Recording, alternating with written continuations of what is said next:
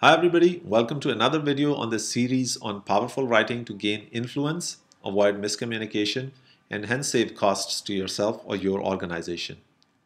We continue the lessons on how to write simple and direct sentences, and today the topic is use parallel ideas in parallel forms.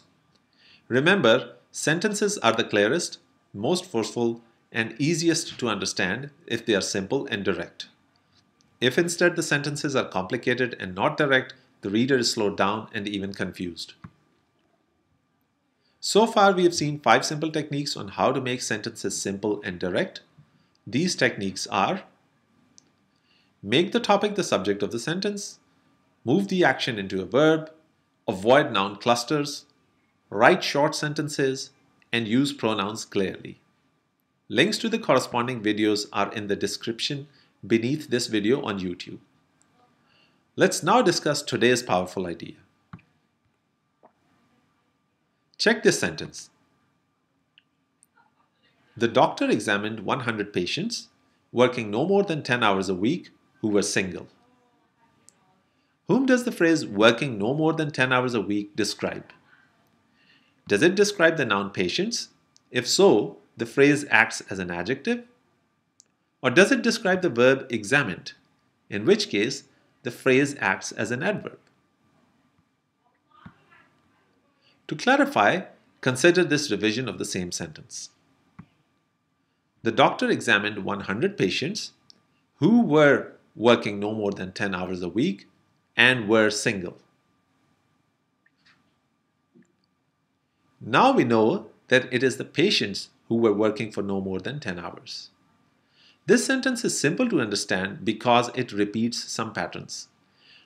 Let's visualize those patterns. After taking a start, the sentence divides into two parts. These two parts state two ideas, that is, working no more than 10 hours a week and being single. These two ideas are equally important and are written in the forms which are grammatically identical.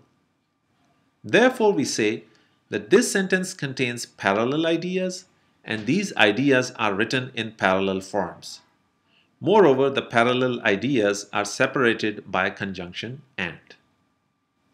So the lesson is, if the sentence must convey parallel ideas, it must do so in parallel forms. Otherwise, the logical relation of the ideas is obscured.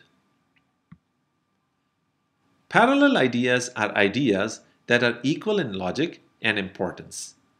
They appear in sentences that use conjunctions such as and, or, or but. Parallel ideas also appear in comparisons, but we shall discuss comparisons in the next video. The parallel forms repeat the same grammatical structure to express two or more parallel ideas. The repetition of the grammatical structure or form is important because the form of the first idea prepares the reader for the form of the second idea and so on. Therefore, the readers can focus all their attention on the ideas instead of getting distracted by their changing forms. So here is another example, but with a different conjunction, but. During the fall, the jet speed increased, but a decrease was noted in the pressure on the wings. Is this sentence in a parallel form?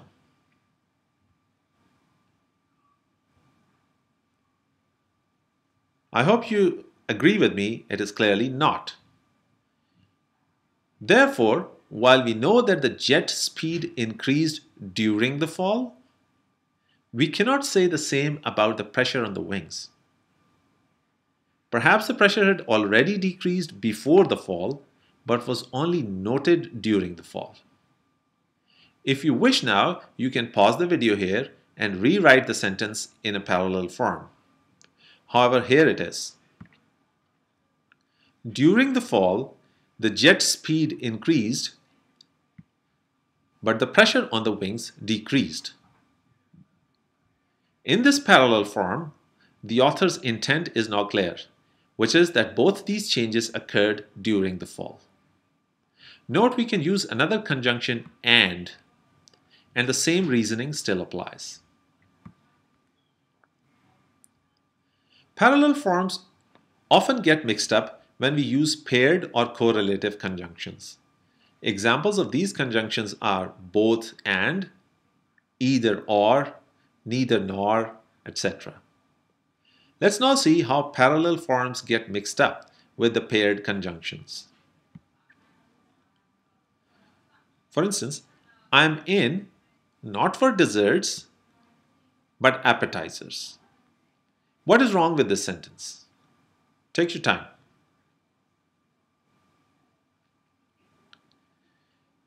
We can clearly see, and I hope you agree, that a preposition is missing in the second idea. So we fix that. Alternatively, if we do not want to repeat the preposition for, we can swap the positions of the conjunctions and the prepositions. So we can rewrite as I am in for not desserts but appetizers. Now a single preposition for applies to both the parallel ideas. Another rule of thumb with the paired conjunctions is that both the conjunctions should come either before or after the prepositions. Now examine this sentence. The grade depends on both the scientific rigor and on the writing quality. Here the problem is that the conjunctions exist both before and after the prepositions. This is not correct. So let's revise. The grade depends both on the scientific rigor and on the writing quality. Now the conjunctions are on the same side of the prepositions. But if we wish to avoid repeating the preposition on, we can do that as well.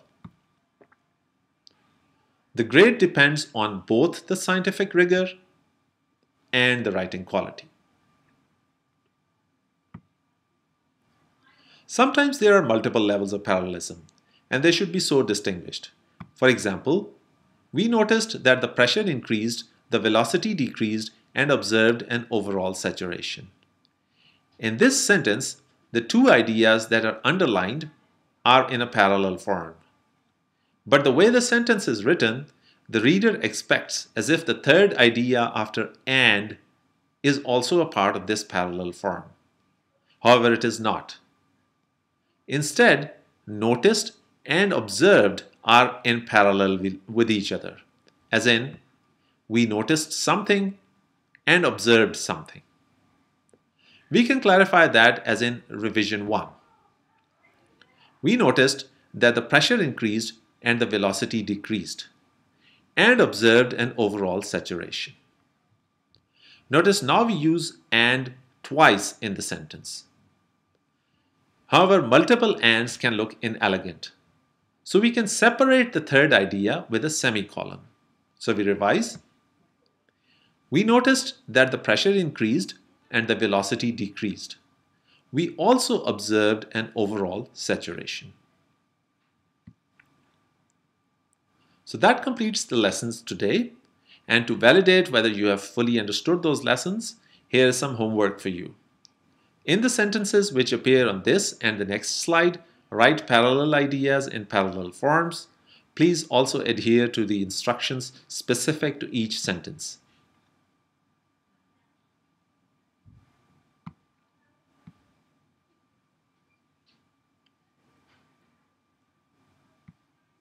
So that's it for today. The next lesson on writing simple and direct sentences will be compare correctly. If you enjoyed this video, please leave your feedback, answers, and discussions under this video. And please also look at the work left by others so you can learn from their work. Also, if you wish to know when the next video is out, but you have not yet subscribed to this channel, press subscribe underneath this video, which may look like this or this, and once you do that, the subscribe button will turn gray. Do not press it if it is already gray because doing that will unsubscribe you. If you have just subscribed, a bell icon will also appear. Press that as well and a ringing bell will appear. As before, do not press the bell if it already appears ringing. Thank you and see you in the next video.